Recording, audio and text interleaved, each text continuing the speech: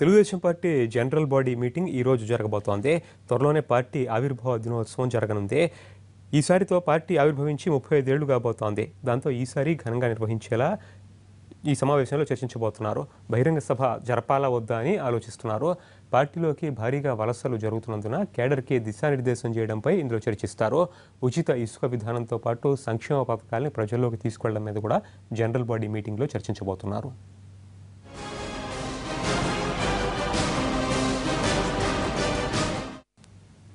TDP general body మీటింగ్కి సంబంధించి మరింత సమాచారం మా ప్రతినిధి పిఎంఆర్ చంద్రశేఖర్ లైవ్లో అందిస్తారు. పిఎంఆర్ టీడీపీ జనరల్ బాడీ సమావేశంలో ప్రధానంగా ఏ అంశాలని చర్చించబోతున్నారు?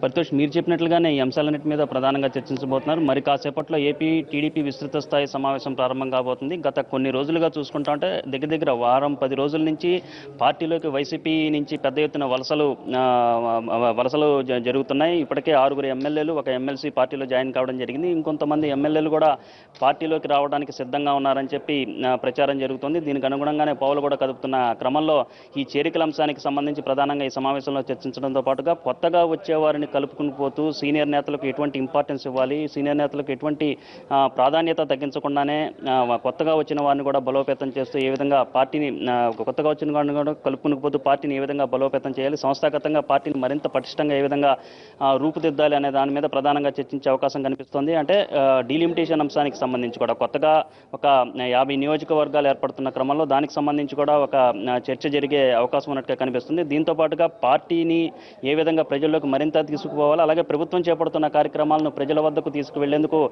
పార్టీ పార్టీ కార్యకర్తలే ప్రధాన వేదికగా ఉండాలి. దీనికి సంబంధించి కేడర్కి ఒక దిశానిర్దేశం చేసే అవకాశాలు ఉన్నట్లుగా మనకి సమాచారం అందుతుంది. దీంతో పాటుగా కొత్తగా ఇసుక విధానాన్ని ఉచిత ఇసుక విధానాన్ని ఒకటి చంద్రబాబు ప్రభుత్వం నిర్ణయం తీసుకుంది. దీని మీద కూడా చర్చించి ఈ అంశాన్ని ఈ- అంశానికి సంబంధించి పార్టీ వైపు నుంచి కూడా ఫీడ్బ్యాక్ తీసుకోవడంతో పాటుగా పటిష్టంగా అమలు చేయాలంటే కార్యకర్తల సహాయం కూడా అవసరం. సో దీనికి సంబంధించి కూడా కార్యకర్తల నుంచి ఫీడ్బ్యాక్ తీసుకోవడంతో పాటు అమలుకు కూడా పూర్తి స్థాయిలో సహకరించాలని చెప్పి ఒక దిశానిర్దేశం కేడర్కి చేసే అవకాశాలు ఉన్నట్టుగా కనిపిస్తుంది. ఓవరాల్గా చూసుకుంటామంటే ముప్పై ఐదవ ఆవిర్భావ దినోత్సవం కూడా జరుగు జరగబోతుంది. సో ఈసారి జరగబోయే ఈ ఆవిర్భావ దినోత్సవాన్ని చాలా ఘనంగా నిర్వహించాలని చెప్పి కూడా పార్టీ భావిస్తుంది. ఓ బహిరంగ సభలాగా పెట్టి ఎక్కడ పెట్టాలనే దాని మీద కూడా ఈ సమావేశంలో చర్చించి ఒక నిర్ణయం తీసుకునే అవకాశాలు కనిపిస్తుంది. ఓవరాల్గా చూసుకుంటూ ఉంటే తాజా రాజకీయ పరిణామాలతో పాటు భవిష్యత్తులో పార్టీని ఏ విధంగా బలోపేతం చేయాలి అలాగే చేరికల అంశం మీద ప్రధానంగా అందరినీ ఏ విధంగా కలుపుకోపోవాలనే అంశం మీద ఈ సమావేశంలో చర్చించే అవకాశం కనిపిస్తుంది.